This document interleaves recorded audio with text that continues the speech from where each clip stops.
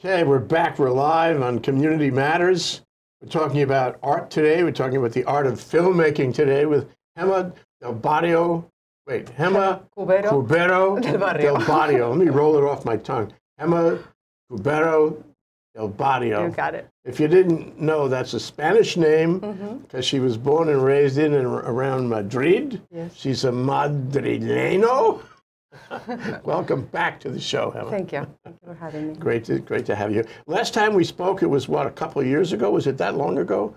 And you were doing a thing on cheesecake. You were doing a, a documentary uh, film on cheesecake in Kaimuki. Yes. You want to talk about that? How did, how did it go since we spoke? Uh, I made a wonderful piece about a wonderful man called Otto that has a, his business in Kaimuki now, Otto Cake. And um, I think I came here when we were about to go to the Hawaii International Film Festival. Yeah. And it was really fun. Yeah. Um, it was kind of like a, like a homecoming because Otto has always been in Honolulu. And then the film uh, show at the Doris Duke um, Theater and also in San Francisco at the Roxy Theater. So yeah, it's, it was really lovely. You like making films. You really do. And, and you are so creative and intense about it. How did you get involved in filmmaking? You know, I don't have anybody in my family that comes from film, but I knew when I was a young girl that I wanted to tell stories. So my entryway was journalism. Actually, I became a journalist. I went to journalism school in Madrid, then I came to the US. I ended up in North Carolina. And that school allowed me to kind of starting to grab the camera and so on.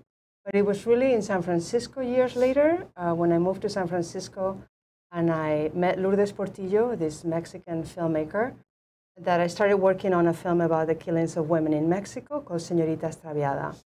And, I remember you talked about that. and that I realized then in the desert in Juarez that that's what I wanted to do. That, that was kind of my calling.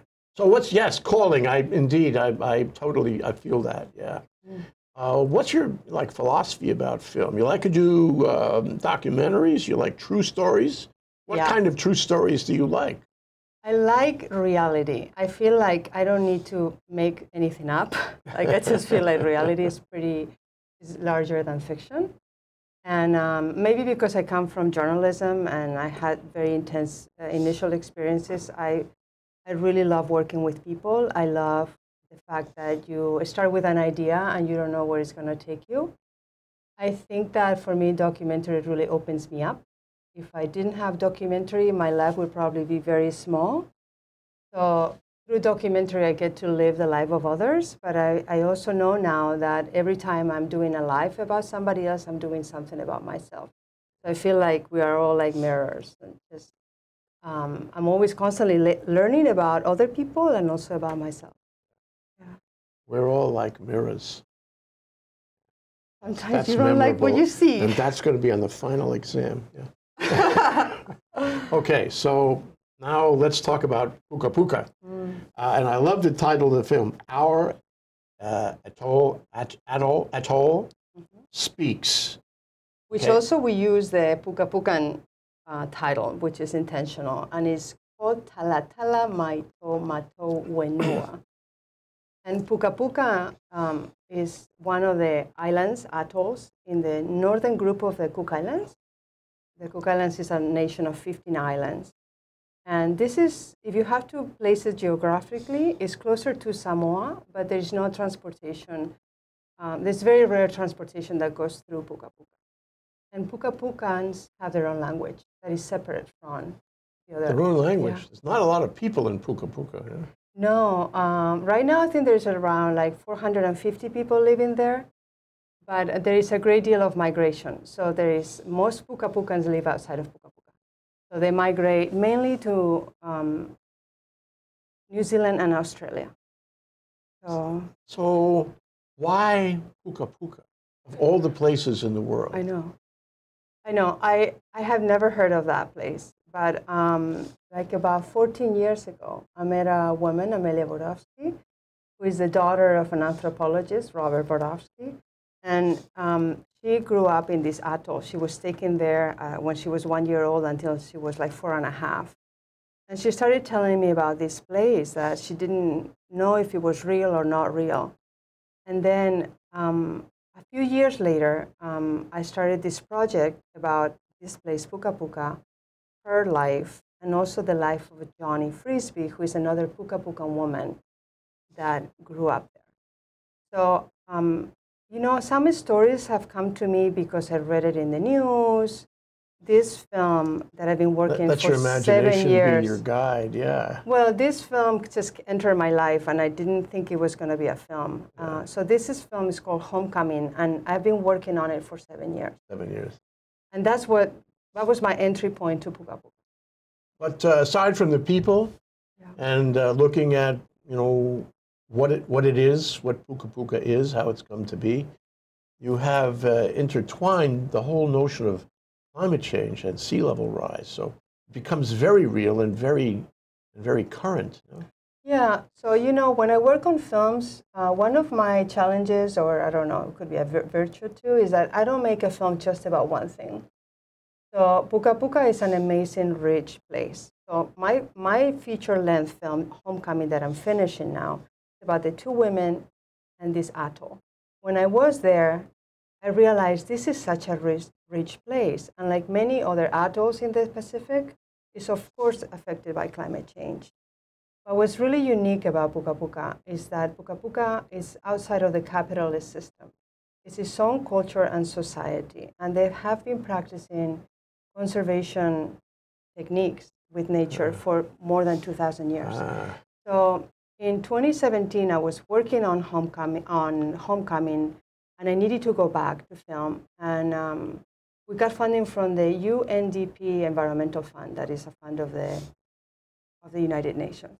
And they gave me money to go to Puka Puka. And the, what I needed to do in return was give them a deliverable of a short film about climate change.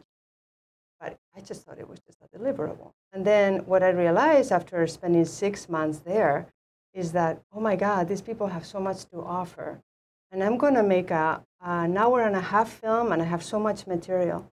So our Atoll Speaks comes out of um, filming more than 450 hours and choosing the knowledge that people have around nature and climate change. Um, so our Speaks is really about climate change, mm -hmm. but not, not with this kind of like, um, what is it called, catastrophic look at climate change, but more from the place of like, what do indigenous people, what do Puka Pukans have to offer to us uh, to, to be in nature and to live more of a respectful yeah, life? We can learn from them. We should learn from them. I, that's the feeling that I got. The feeling that I got is like, wow, this is such a rich place. And we didn't want to make a film that was like, you know, everything is going to disappear. I mean, Puka Puka will disappear in less than 100 years if we don't do anything about climate change. The place is really a communal film that I did with the Puka Pukan people, with Johnny, with Amelia. And do your own camera? I, I, do. I mean, I do, but I also like to work with other people. So, mm um, so when you watch this film, you will see some of my footage. You will see some of the footage of Vicente Franco, who is a really fantastic cinematographer. And what really makes me happy is that the most gorgeous footage, which is the drone footage of the island, ah, drones, uh, is fantastic. It was shot all by a Puka Pukan man called Letinga that had a drone when I got there. I got him an extra battery, so we could actually get away for more than 15 minutes. And it's really breathtaking. So he's the cinematographer of the piece. And it's really it's well, Let's stunning. look at uh, some clips, Emma. Okay, we got uh, we got three or four clips. We'll go through them, and then you can explain each one as we as we finish it. Let's okay. look at the first one. We are the children of Te Ulu o Te Watu of Puka Puka. As its caretakers, we listen to the moon and to the tides. At the Atawaiwolo, thank you for looking after us rustle the coconut fronds. Fish for you, murmurs the sea. A father will teach his son the ways of the ocean. A mother will teach her daughter the ways of the land.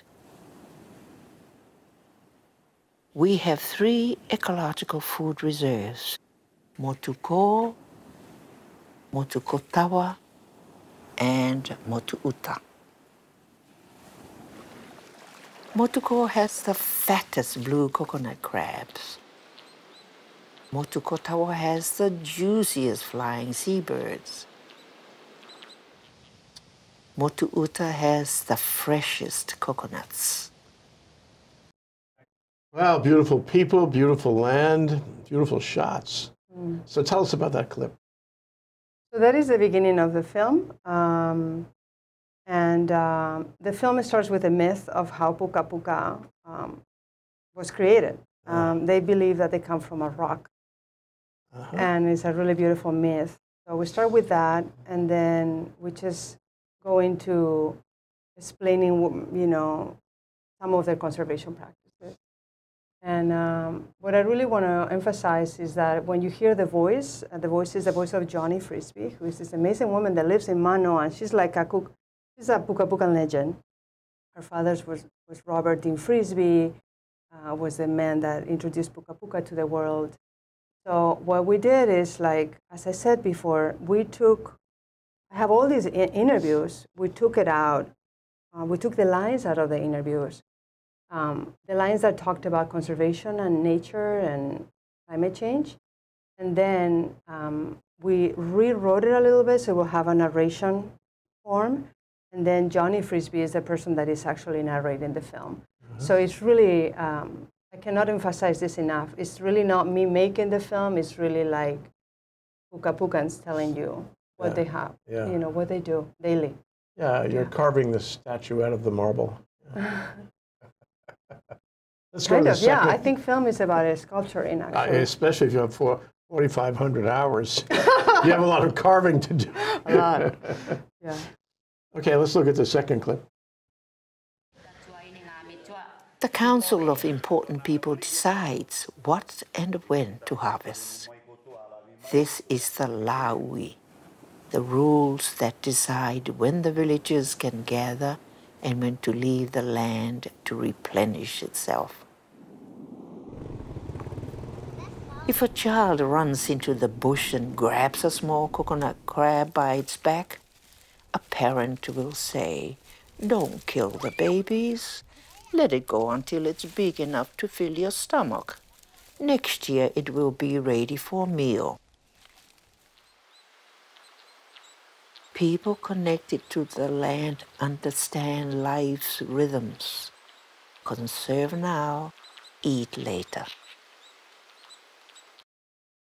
A beautiful life, a remote life, a simple life, a sweet life. Lay back to the nth degree, no? And they do actually a lot of work because they have to maintain the island. Um, it's um, fishing and hunting society too. I mean, you get food from the boat from the boats, and now they have solar power. They have internet. I mean, they're really in the world in the way that they want to be in the world. But it's definitely they are following conservation practices, fishing practices, hunting practices for more than for thousands of years. Uh, the clip that you saw um, reminded me of the fact that the knowledge is passed from generation to generation.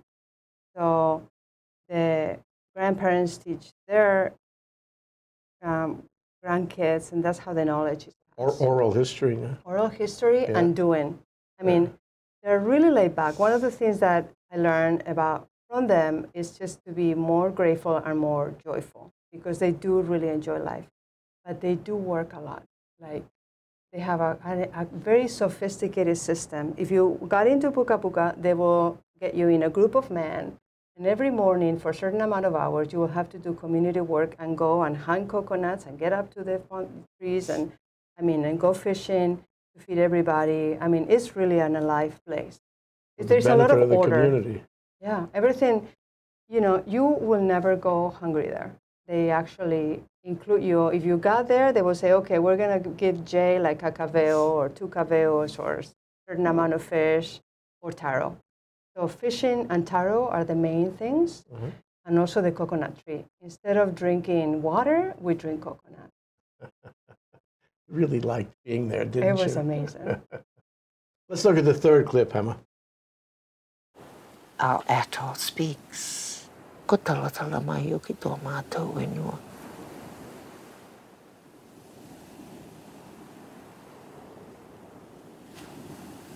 How long can we call Puka Puka the island home?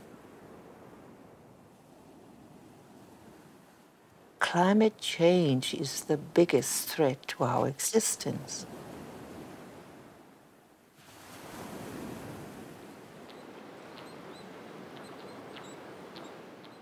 we need to look at the risk of rising seas in terms of our cultural practices so that we don't lose them. We cannot allow Puka Puka to disappear into a legend of Tamadei and Mataliki, like the way Kiribati and Tuvalu and other islands in the Pacific disappear into the sea. If Puka Puka goes under the sea, we are all under the sea. My umbilical cord is buried here. If that goes underneath, that is literally me going under the sea. We pray the international community can do something so that I don't go underwater. If beautiful, Emma. It's a beautiful place it's it's really the Pacific. Pacific is so quiet, no big waves, no surfing. I'm sorry to say. Huh? No, no surfing. and, I, and, a lot of the movie is a, an exploration of the place and the people as an exquisite example of uh, something we haven't seen. Something that we haven't seen and something that we can learn from. Uh, yeah, that's the that's the feeling that I got, and yeah. that's yeah, they have so much to offer in order to make this movie, you really had to understand it. You had to mm. observe it. You had to participate in it. Mm-hmm. You had to engage with the people. You had to mm. see the, the whole place. I could have never done this film without them. Um, so definitely, yeah. You cannot get to Puka Puka. They will not let you in if you don't if they, if you haven't followed the protocols. And um, I felt really lucky because with Johnny and Amelia, they were like daughters of Puka Puka. So I was able to go in, and they really welcomed me, and they treated me like um, their own. So I feel really fantastic. Um, tomorrow there's going to be like uh, the film has gone to New Zealand. Uh, we premiere there. It was fantastic because most Pukapukans live in the diaspora in, in New Zealand. So we did the screenings there, and tomorrow the film is going to premiere for the first time at the Te Kuki Airani Film Festival in the Cook Islands. And we have um, organized that the Pukapukan people will do a performance of their own, you know, drumming and dancing, and then the film is opening the festival. So that's kind of amazing to me because th this film is about them. Yeah. And then it will show on Cook Islands television right after. So we've seen what three clips so far. Mm -hmm. Now we're going to see the trailer, mm. and the trailer is. How is the trailer different than the clips you've shown us? So as you heard in the clips, you know, you can hear the voice of Johnny Frisbie because the clip are sections of the film. Um, and the trailer, what I wanted to do was really to take you there in a kind of like a magical place. Um, there's only a couple of lines our atoll speaks, you know, at the very end. And I, I think a quote about uh, climate change. So the film is really the message, has an urgent message of if if this place, if we don't do something, if the international community doesn't do anything about climate change, we will go under, and if, and I will be, I will die with it. You know, my umbilical cord will be buried there. Yeah. So that was to me when I was trying to make a, a film with, when I was trying to make the trailer with my editor, Keon Lee, who is my collaborator. I was very intentional about, I want to make sure that the wave is there and that there is a short message that is about, you know, climate change. But I also wanted to take you to this kind of like real place. It's magical, but it's real. Okay, let's see the trailer now.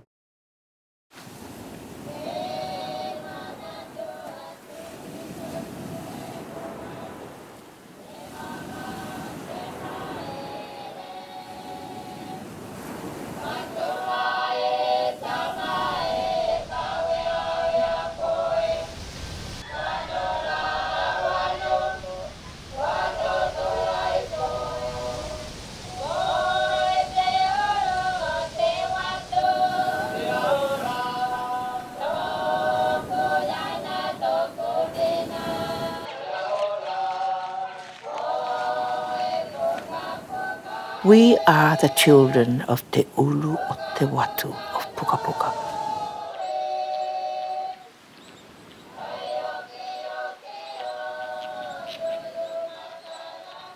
How long can we call Puka Puka the island home? Climate change is the biggest threat to our existence. Our atoll speaks. Ko talatala mai o ki tō mātou wenua.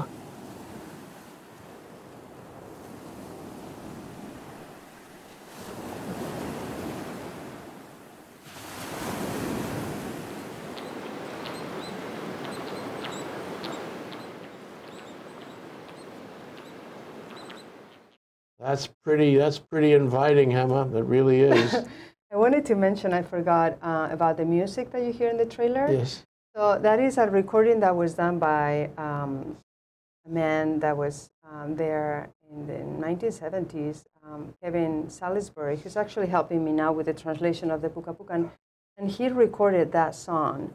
And the music in Puka Puka is exquisite, like the a cappella music. So for homecoming, I'm going to have really amazing music from the place. But I wanted, that is the national, that is the Puka Pukan anthem. So it gives me chicken skin every time I hear it. And um, that was very intentional to, to play that throughout the, the film. Aren't, aren't, are you going to go back? Are you? you know, Uh, yeah, I, I made a, so when this film premiered in New Zealand, the day before, I promised them that they will see the work before anybody else.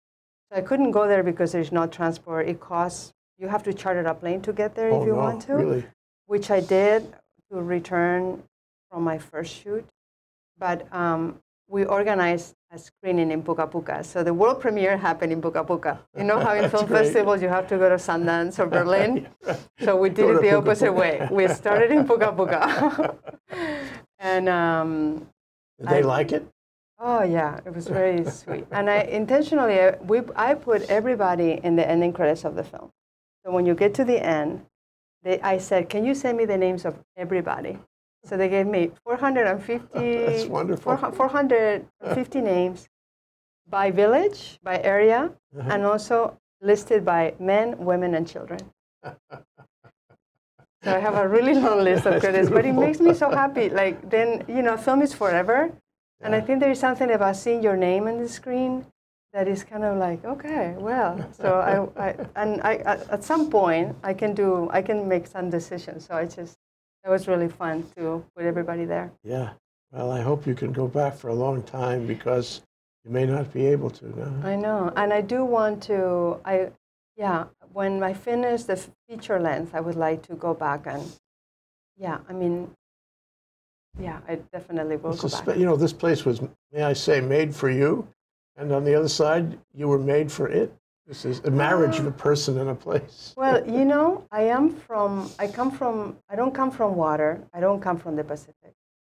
I I come from a very very small town, actually, north of Madrid, Medina del Campo or San Pablo de la Moraleja, and it's very very rural. When I was in Puka Puka and I was walking through the streets of Puka Puka, there's only one main street. I felt like I was home in my father's hometown. Yeah. So that was like, I was like, what is this about? Because I was surrounded by that beautiful water and the palm trees, and definitely that's not Castilla. yeah. That's not Spain. But I feel like by making this film, the place has really, and the people have really given me a, a huge gift. Yeah, aren't you worried though that uh, making a film, because a film is media, Mm. a film is publicizing things. If this film, or I should say, when this film, Yeah, you know, hits the market, so to speak, yeah. um, and wins a lot of awards, people will go happen. Puka Puka, won't they? Okay. Aren't you afraid that Puka Puka is a fragile place and it's easily it's easily tampered with, it's uh, easily damaged? So my intention with this film was to make something that will serve them. So I Puka Puka is a very um, sophisticated society. They have a tribal system, a government system. Everybody gives their manako or their advice. So while I was making the film, everybody was informed about it. And I know that they don't want to be developed. They have development, they have solar power, they function really well. And it's really going to be up to them what they want to do with the impact of the film. I don't want Puka Puka to change, you know. But it's really to it's going to be their call. I am just I feel like as a filmmaker I'm just a vehicle to, to share a message, but then it's really their call what they want to do with it. For instance, can they get better transportation for their own people? That could be a good thing for their own people. Do they want to make hotels? No. They have to manage it, just like Hawaii has to manage it. Every island community has to manage these you things. know, I really look forward to the film show to show in Hawaii because, you know, I've spent enough time in Hawaii to understand a little bit of the, the richness of the culture. Mm-hmm. And when I was in Puka Puka, um, I remember I was filming the creation of a pola house, of a kikau house. And one of the guys came to me after hours of film and I said, like, Emma, what do you think uh, they will think of Hawaii, of how we make homes here? And I said, Harris, your work will be in a museum. will be at the Bishop Museum. You know, of, so I think they have so much to offer, and my hope, if they want to, and they do want to, is that when the film premieres here, that there could be some kind of like cultural exchange, or that because really, it's a true Polynesian Yeah, sure. world. So where are we on the continuum of, of, of releasing this film? you have a premiere. Yeah, You went to New Zealand to a film festival, yeah. um, and you just came back. Just came back from New Zealand. I just Zealand. came back, so How now. did that go, and, and what follows? Oh, it was really beautiful because you know, so I so this deliverable became a film, and then I was like, wait a minute. I talked to the fan and I said, could you give me some time? I own the film, but because of the UN, I wanted they wanted to make it publicly available to everybody. But you know how the festi- the film festival world works. I said, can you give me some time before I make it public for everybody to really take it to festivals? So I was intentionally going to New Zealand because of the diaspora. I want the film to, to keep showing in New Zealand, um, to keep to show in Australia because that's where most Pukapukans live. Uh, we it's gonna show here in Hawaii soon.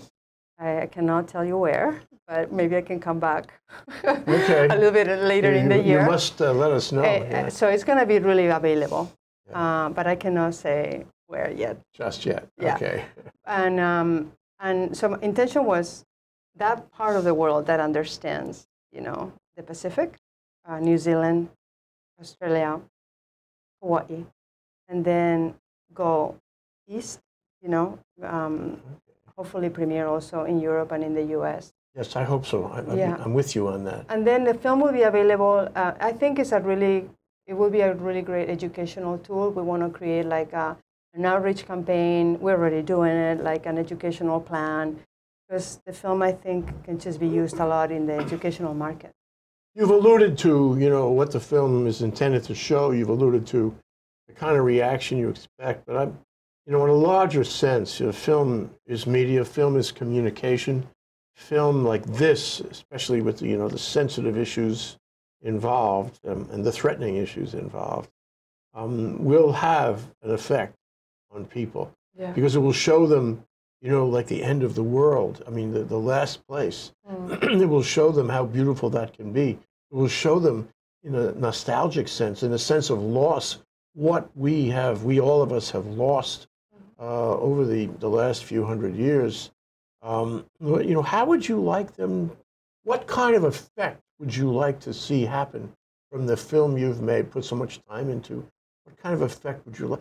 What would you like people to really take away and act on, act on, because they've seen this film? I feel like my role as a filmmaker is to shed light onto realities that already exist. Puka Puka has been there for thousands of years.